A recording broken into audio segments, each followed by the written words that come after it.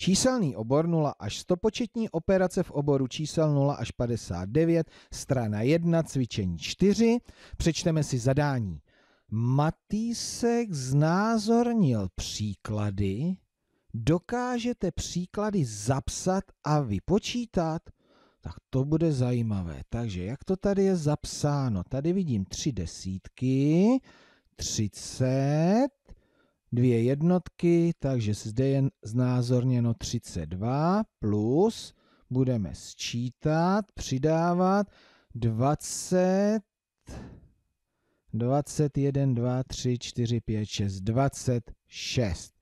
Příklad 32 plus 26. Kolik je to dohromady? No, tak já nejdřív si spočítám všechny desítky, těch je tady 5, 50, a potom dohromady jednotky dvě a tady jich je 6, 58.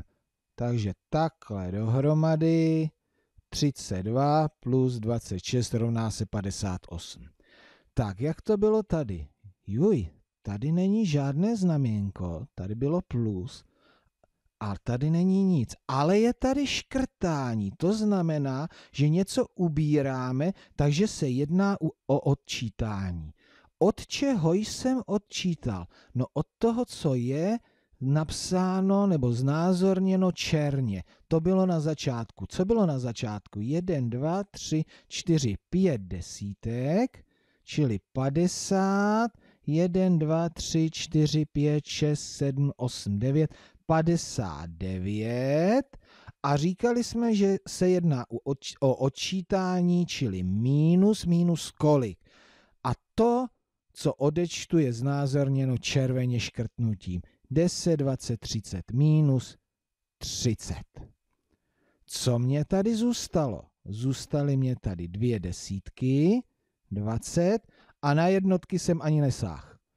59 minus 39 rovná se 29. Tak, zkusíme, jestli jsme to pochopili. Tak, první sčítanec. 10, 11, 12, 13, 14, 15, 16, 17. Plus druhý sčítanec. 42. Dělám to dobře? Kontrolujte mě. A teď to mám dát dohromady. Když dám dohromady desítky, mám 50. A ještě dám dohromady jednotky, mám 59. Tak, to jsem si zopakoval sčítání a teďka odčítání. Tak, menšenec, to první číslo, od kterého se odčítalo, to, co tady je černě. 40 40, 1, 2, 3, 4, 5, 6, 7, 47.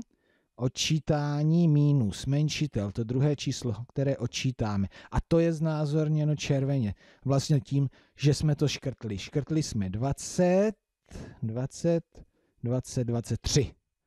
23. Výsledek, to je to, co je neškrtnuté. 20, a z jednotek mě zbyly čtyři. 47 minus 23 rovná se 24. Tak, dokážete, jako já, zjistit, jaké příklady Matýsek znázornil a vypočítal je? Tak si to zkuste nyní sami.